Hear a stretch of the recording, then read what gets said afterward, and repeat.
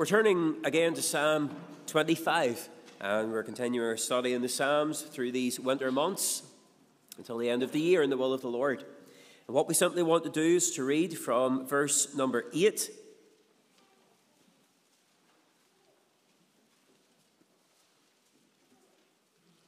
and hear the truth of the Lord.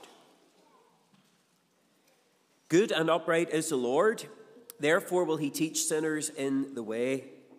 The meek will he guide in judgment, and the meek will he teach his way. All the paths of the Lord are mercy and truth to such as keep his covenant and his testimonies. For thy name's sake, O Lord, pardon mine iniquity, for it is great. What man is he that feareth the Lord? Him shall he teach in the way that he shall choose. His soul shall dwell at ease, and his seed shall inherit the earth. The secret of the Lord is with them that fear him, and he will show them his covenant. Mine eyes are ever toward the Lord, for he shall pluck my feet out of the net. Amen. Let's pray. Father, we do pray that thou wilt bless uh, this reading to our hearts, open our eyes to behold wondrous things out of thy word. Lord, give us understanding today. Give us a heart that longs to hear thy truth and to be obedient to it. Lord, empty me of self and sin and fill me with thy spirit, I pray. Give me help to deliver the word of God to the glory of thy name, for it's in Jesus' precious name I ask these things. Amen and amen. Last week we were looking at the verse, good and upright, verse 8 is the Lord. Therefore will he teach sinners in the way. And part of the goodness of the Lord and the uprightness of the Lord not only teaches sinners in the way and draws sinners onto salvation through the preaching of the gospel, but it goes on in verse 9 to say that the Lord will even go further than that. He doesn't just save the sinner, but in verse 10 or verse verse number 9 it says the meek will he guide in judgment and the meek will he teach his way. And that word meek is a description of someone who is saved and is obviously in obedience to the Lord. The word meek literally means humble. Now, some people think that it means if you're meek, you're weak, but meekness is not weakness. It is a humble disposition and it is a humble spirit to obey God, to be faithful, and to do His will. And therefore, we are called to be a meek people. The word meek in itself would tell us and teach us that it is a people who have been saved from a natural state of sin and pride. And whenever we read about meek people in the Bible, we read about blessed people in the Bible. And I want us to look at a few verses this morning, just before we even go down any further in this psalm, about the meek and the blessing of being a meek person. It is the meek that will seek the Lord. In fact, in Zephaniah 2, verse 3, it says, Seek ye the Lord, all ye meek of the earth. And you know, for us to seek the Lord, there has to be a humbling of self. The day we were saved, we humbled ourselves before the Lord. We weren't proud or arrogant coming into his presence. We were humble, we were meek, we were like the publican in the temple who would not lift up so much as his eyes toward heaven because he was so ashamed of his sin. And we humble ourselves before God, repenting of our sin and calling on the Lord for mercy. And I urge you this morning, if you're not saved, humble yourself before God. Seek God. Now, you can't seek God with a proud, arrogant heart saying, Well, you know, I'm not too bad. My life is okay, but I, I want to be saved. You must come before God acknowledging you're a sinner.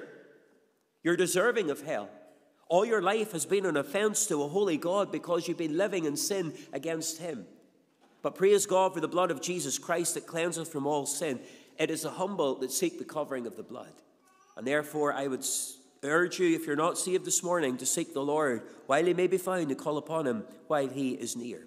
You're in the book of Psalms. Turn back to Psalm number 10, and we'll find another uh, thing that is attributed to the meek. It says there in Psalm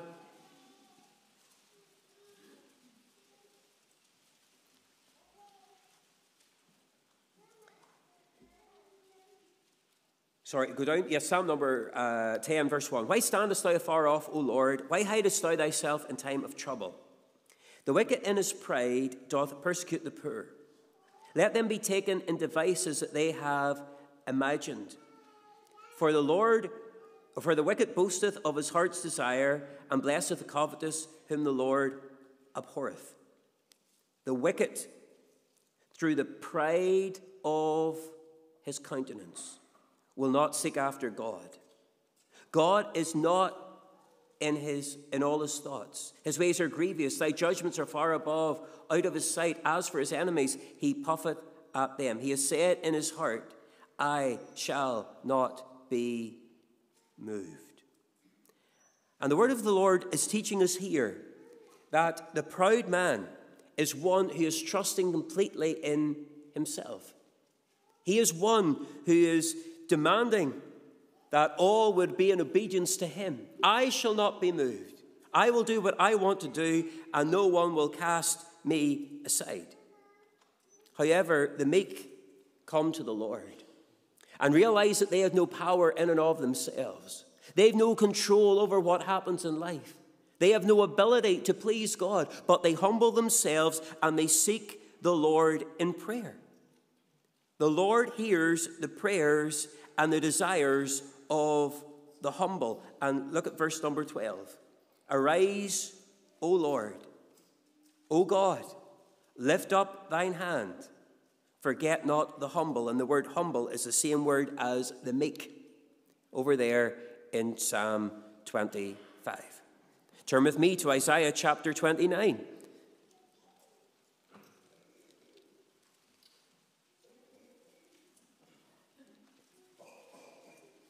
And Isaiah chapter 29, verse 19.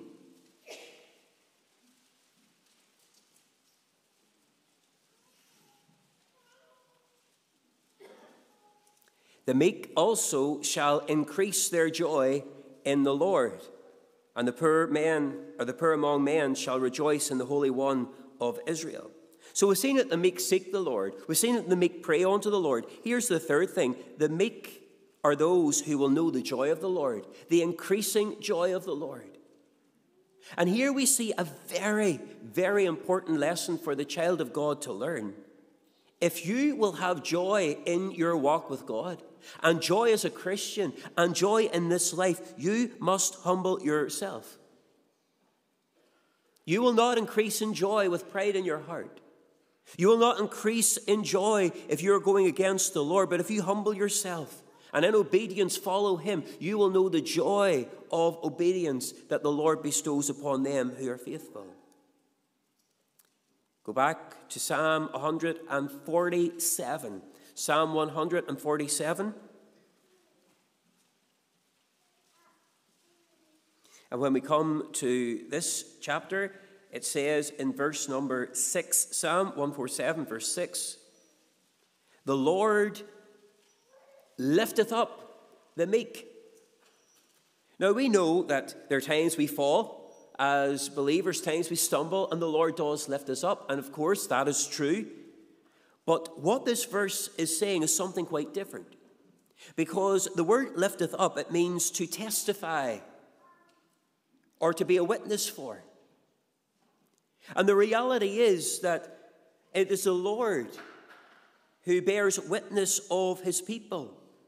And we who have been saved by the grace of God, who have been brought home to glory, the Lord will stand for us on the day of judgment and testify for us and witness for us that we belong there, that we are saved, that we're washed in the blood, that we have been redeemed, that we are His people. And how wonderful it is, even this morning, to know that in heaven there is one who testifies for us, one who prays for us, one who pleads the promises of the book for us before his Father.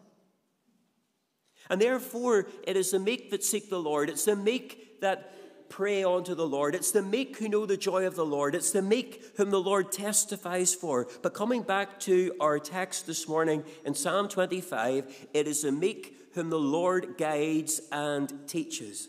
God will teach the meek, God will guide the meek.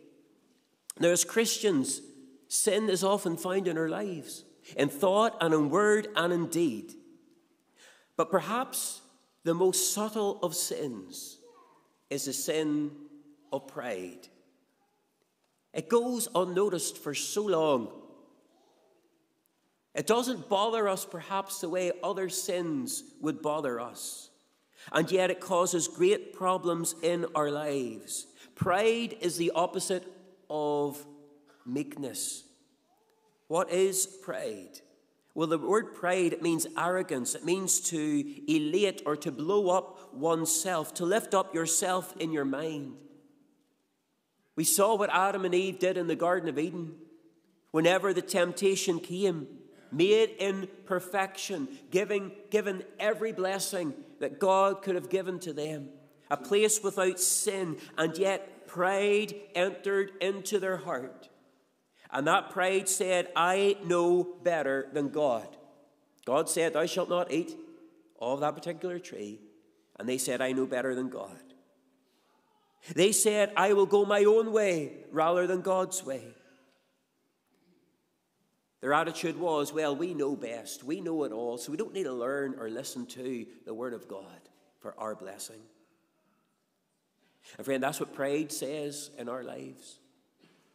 Even in the Christian, when pride starts to enter and we get on an elevated view of ourselves and we start to think of ourselves more than we really are, you know what happens? We start to say, I know better than God.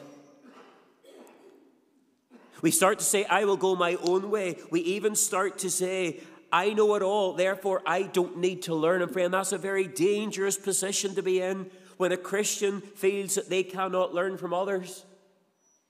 I remember years ago when I was at Bible college, I remember asking someone if they were going to a particular uh, meeting that was being held, and lots of churches were invited to this meeting uh, somewhere far across the country, and a lot of churches were being invited to it.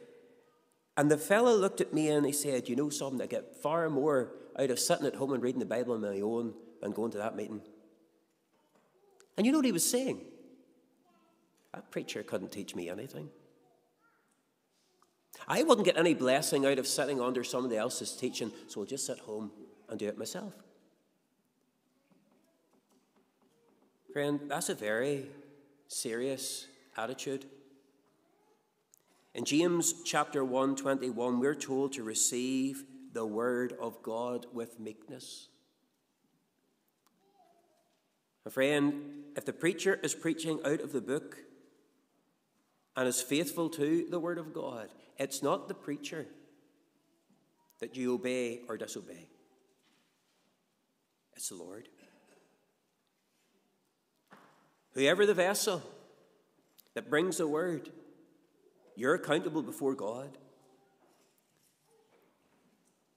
How sad whenever we have an attitude, I know better than God. How sad when we disobey God's word and explain it away in our heart and rationalize it and feel comfortable about it. Friend, those are that's dangerous ground. That's very dangerous ground. We need to be humble enough to say, well, the Lord tells me I must come under the teaching of the word of God. I'm going to humble myself and do that. The Lord tells me to remember the Sabbath day to keep it holy. I'm going to humble myself and I'm going to do that. The Lord tells me to put sin away from before my eyes. I'm going to humble myself before the Lord and do that. Because I know that if I go against God and I'm not meek but filled with pride, there is going to be consequences. And there's three things I just want to say about pride, and then we're going to move down through the rest of this passage. Turn with me to Proverbs and the chapter number six. There's three simple things I want to teach about pride this morning. Proverbs chapter 6.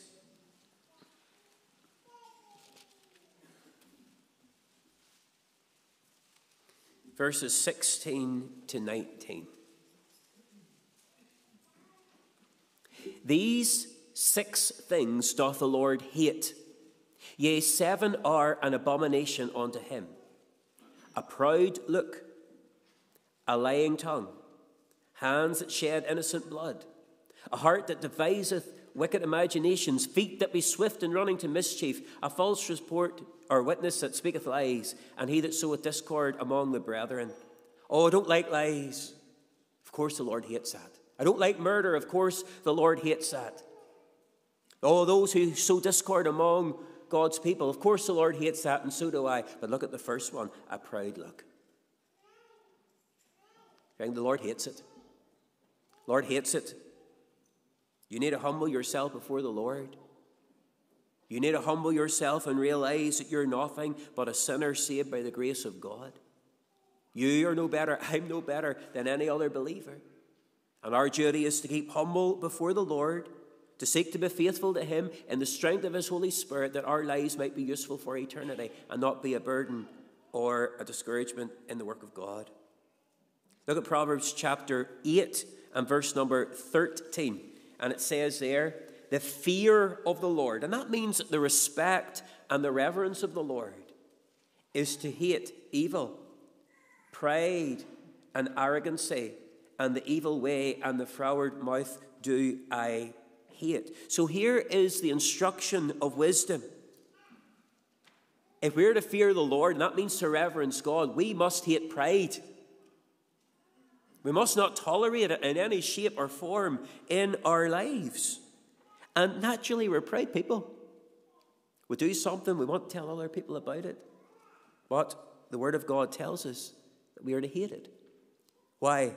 Well, this is my third point about pride. We thought the Lord hates pride. We should hate pride. Thirdly, Proverbs chapter 11, verse 2.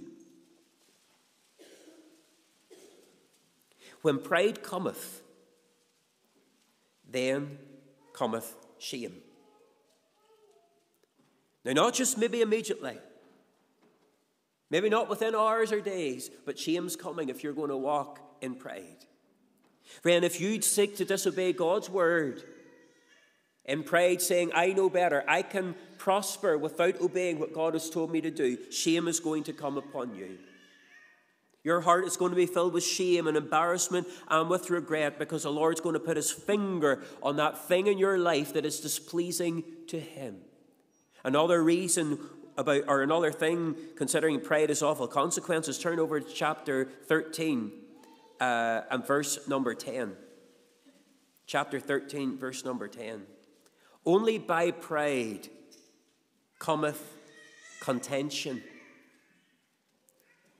only by pride cometh contention. What does the word contention mean? Quarrels or strife. Why do arguments start? Because pride. Why do quarrels come into being? Because of pride. Why does contention come in personal lives, in relationships, in church life? Why do these things happen? Because of pride. Do you see how wicked pride is? Do you see how destructive pride is? Do you see how abhorrent it is in the sight of the Lord? Do you see how we need to put into our daily prayers a clause where we pray, Lord, keep me humble? And therefore, I urge God's people, keep humble and meek in thoughts of self. Whatever you are today, in a positive sense, you are by the grace of God. By the grace of God, I am what I am. But also keep humble in response to God's word. Friend, don't come out of a church service thinking, huh, who does he think he is telling me this or telling me that? Look at what God's word says. And realize that the author is the Holy Spirit. And be humble enough to say, well, if this is what God says, this is what I must do. Also, be humble in your conduct with others. Be humble. Listen. Listen to what others have to say. Sometimes, you know, people are very good at talking, but they're not very good at listening. And even whenever you get a word in edgeways, they're actually not listening to you at all. They're thinking about the next thing they're going to say. Humble yourself and listen to others. Humble yourself and be kind to others. Humble yourself and help others. Humble yourself and pray for others. Friend, humble yourself and go and reach others who are not saved. Because if we're honest, the one thing that keeps us from going to ask our family members, our neighbours, our friends out to gospel meetings is pride. It's not that we don't believe they're in danger and on their way to hell. It's not that we're not concerned about it. It's not that we don't know the gospel but it's pride. What will they think of me? Oh, may the Lord make us a meek people who will humble ourselves to do these things. Now, these verses teach us in Psalm 25 that the Lord will and can teach and guide those who are meek. Thomas Goodwin, the Puritan, said, The Lord will teach the humble his secrets he will not teach proud scholars. Do you notice the progression there in verse 8? Therefore, will he teach sinners in the way, so he'll bring them into the way of salvation. And then he will, the meek he will teach in judgment, the saints he will guide in judgment, and the saints he will teach his way. So there's that progression, isn't there? To teach or to give judgment or to guide in judgment means the Lord will decide what is right and what is wrong. Sometimes we're brought before deliberations, and we have to make a decision is this right or is this wrong? Will I go here or will I not go here? Will I do this or will I not do this? God is willing to guide you in each decision you have to make. And therefore, if you find yourself in a situation where it's not automatically clear or black and white in your mind if something is right or wrong, pray and ask God to give you that wisdom. To either give you a, an unsettled spirit to know what's wrong or a peace within your heart to know what's right. And let God be the guide. And friend, you'll not go wrong. Notice he'll also teach the saints in his way or the meek in his way. And that reminds us God has a plan for you. I'm so glad this morning that God has a plan for me. He's a plan for your life. He will teach us in that way. And therefore, what do we need to do to know that plan? We need to ask Him. Have you ever asked the Lord for His will for your life? Have you ever asked the Lord in recent days, Are you where you ought to be? Or is there something the Lord would have you do to go a little bit further with Him in obedience? Not only do you ask the Lord, you wait upon the Lord. Don't run ahead of God. Don't make decisions without first seeking Him and waiting to see His will revealed. And then when God reveals His will, obey it. Now it's interesting to note in verse number 10 it says, All the paths of the Lord are mercy and truth unto such as keep His covenant and His testimonies. The word mercy means kind or kindness, and the word truth means faithfulness. So God's ways are kind ways. There are ways of faithfulness where he is faithful to his people. But notice the clause, it's the paths of the Lord, because there are many different ways in this life we can take. There are many different routes and there are many different uh, ways we can live our life, but only the ways of the Lord are mercy and truth. Friend, the other ways that are contrary to the Word of God are not ways of kindness, they're ways of cruelty. Or they might feel good for a little while, but I tell you, at the end they will bite. At the end they will sting. At the end there will be destruction. Friend, any other way that goes against the way of the Lord is not a way of truth, it's a way of lies. And you ought to keep away from every other way other than the ways of the Lord. But you'll notice what this verse is teaching us. It says, All the paths of the Lord are mercy and truth unto a certain type of people to such as keep his covenant and his testimonies. Now, the word covenant in this instance means the law of God or the commands of God. The word testimony, it means the scriptures. So, therefore, what it's saying is the people who believe that God's ways are mercy and truth, kindness and faithfulness, are those who are obedient to the Lord's commands and those who are people of the Word of God. And is that not true? The happy, joyful, growing believer is the one who's obedient to the Lord. That's where our joy is found in obedience to the Lord. But I'll tell you, you start walking contrary to the Word of God. And you start to think of the ways of the Lord, oh, that's hard. That's too difficult. That's too far. I'm not going to be extreme. I'll just go a little bit. I'll not go the whole way the Scripture tells me to go. Friend, you're walking in disobedience to the Lord. Yes, it's partial disobedience, but partial disobedience is disobedience. And if that's the case, you're wrong. You're wrong. You're following after some foolish lie that you can go another way and prosper. It is not a way of kindness, it's not a way of mercy. It's going to cost you, it's going to hurt you and therefore be in obedience to the Word of God. If you find yourself out of step with God's Word, never think that God's Word's too severe or, or too far. You're wrong. And you need to be changed, and your heart needs to be changed because it's always a blessing to walk with God. It's always a blessing to walk with God. The most joyful believer in this world today is the one who's walking with God. And you ask that person who's rejoicing in the Lord, what do you think of the Word of God and the ways of God? Oh, they're ways of kindness. They're ways of mercy. They're ways of truth. They're ways of faithfulness. And I love the ways of the Lord. You ask someone who's backslidden or not where they ought to be. Well, what do you think about the things of God and the ways of God? Well, how long did I tell you about so and so in my church? How long did I tell you about the preacher? How long did I tell you about my denomination? And they'll go off and complain about everything. Why? Because they know they're contrary to the ways of God. There's a lovely song that says, It is glory just to walk with Him, whose blood has ransomed me. It is rapture for my soul each day. It is joy divine to feel Him near Where'er my path may be, bless the Lord, its glory all the way. He will guide my steps aright through the vale and o'er the height. It is glory just to walk with Him, and so it is. It's glory.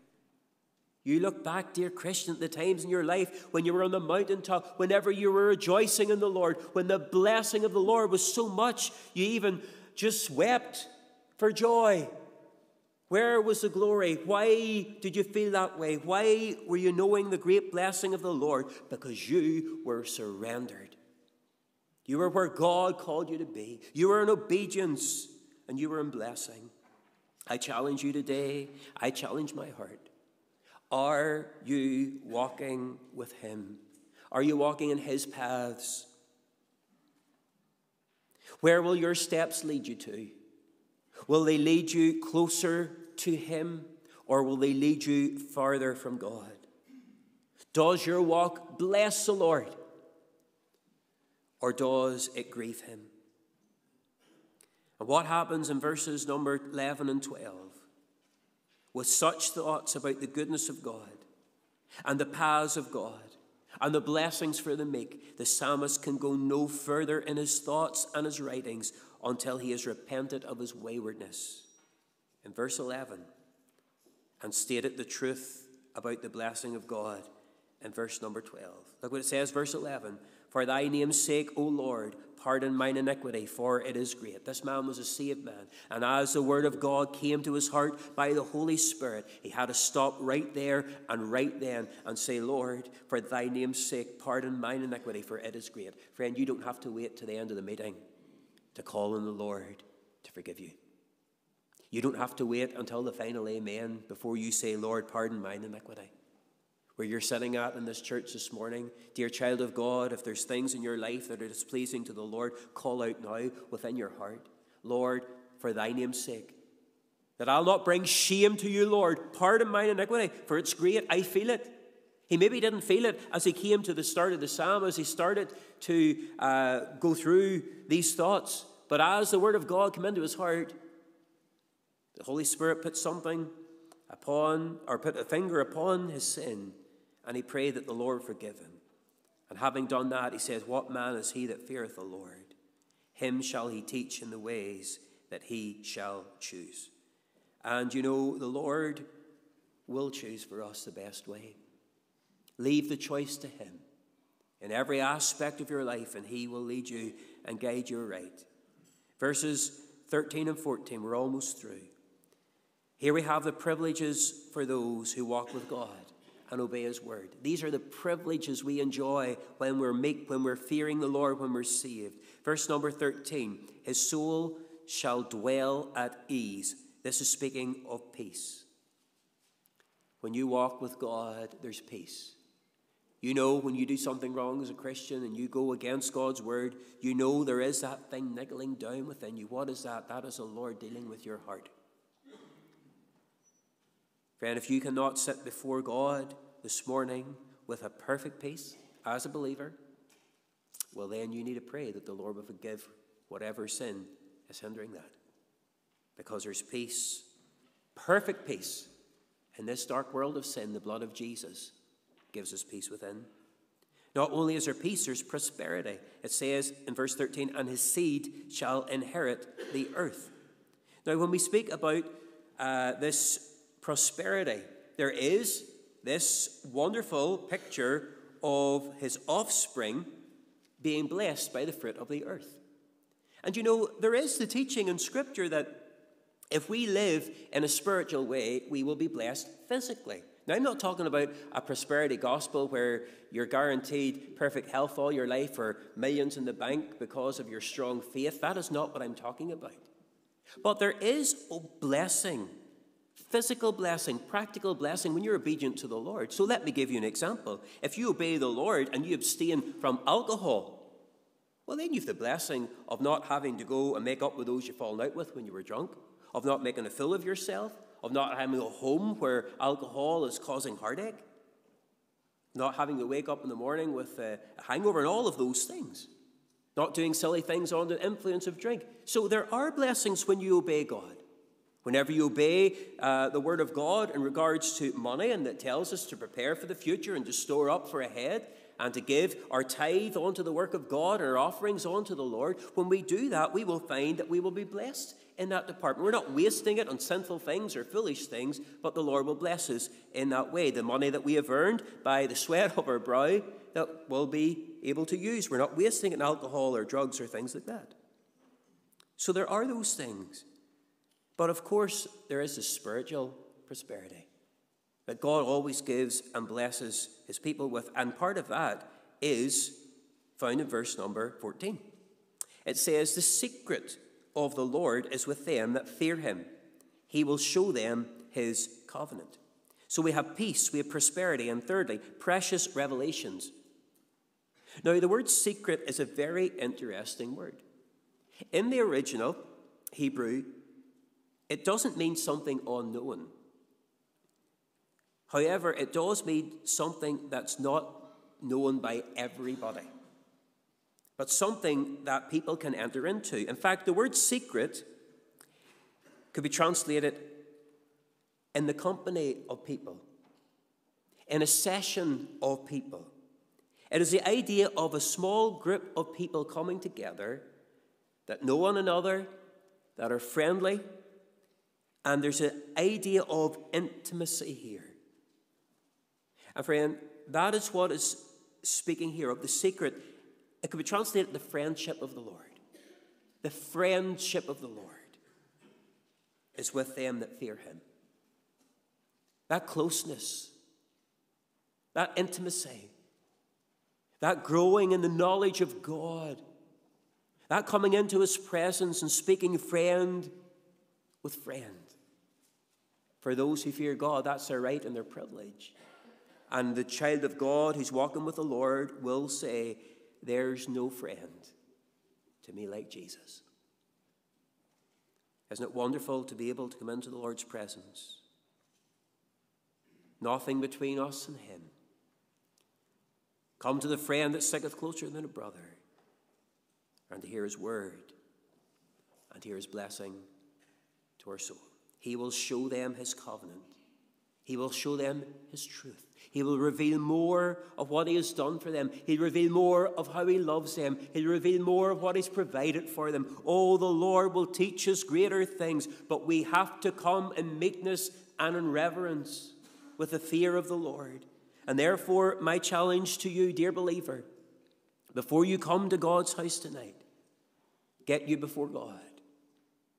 And pray the Lord will give you a humble spirit with a meekness to receive the truth and to be blessed by it. Pray the Lord will give you his the fear of the Lord, the reverence, the respect for God. Because I'll tell you, if you prepare your heart to come into the presence of God and into the place of worship, you will leave rejoicing. But if you've come in half heartedly, arrogantly, with an issue with someone else that you haven't dealt with, unconfessed sin, pride, friend, you'll not get out of the service what you could. And therefore, the importance of keeping our heart right before a holy God. As we close this morning, my question is this Are you in the way of God? Do you fear Him? Are you humble before Him? Dear believer, make sure that you're leaving in the center of His will. He will choose the way for you, He will bless you richly. He'll give you that peace that only God can give. And dear friend, if you're not saved this morning, this God can do the same for you, what He's done for many in this gathering. He can save you, He can lead you, He can be the friend that sticketh closer than the brother, the friend that died to save you, the friend that shed His blood, the one who has truly your best interest at heart. And praise God, He's ready and willing and able to save. Amen. We're going to sing our final hymn, 431. That hymn says, Guide me, O thou great Jehovah. Pilgrim through this barren land, I am weak, but thou art mighty. Hold me with thy powerful hand. We'll sing, stand, sing this together, and then we will have our closing prayer.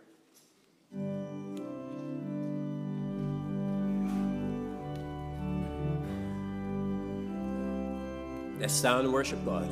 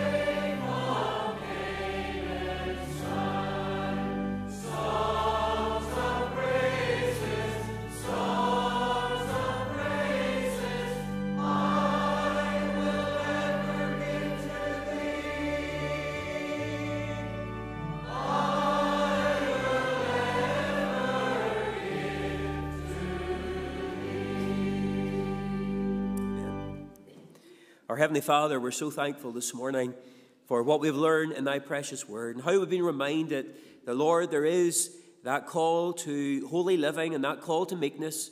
Lord, root out pride out of our hearts.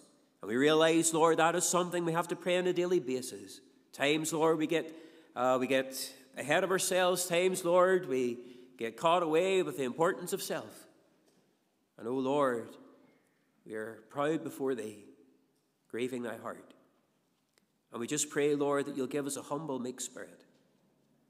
That we will be obedient to thee, we will walk before thee well. Lord, we'll be humble enough to confess our need of thee. We'll be humble enough to pray. We'll be humble enough to come and worship thee because you've told us not to forsake the assembling of ourselves together. We'll be humble enough to know that God's ways are truth and mercy. And we will be blessed if we walk in them. Oh, Lord, I pray, keep us humble and help us, Lord, to walk faithfully before Thee and this world in the week that lies ahead, should you spare and tarry. I do also pray, Lord, if there's any in this gathering not yet saved, you'll give them grace to humble themselves and to call on the Lord for salvation. Lord, we're so glad that we've not been asked to do these things in of ourselves, but to look to the Lord, for salvation belongeth unto him. Save, we pray. Give joy, we pray, within the hearts of thy people, and victory over the world, the flesh, and the devil, as we seek to live for thee. In Jesus' precious name we ask these things, and for his glory alone. Amen.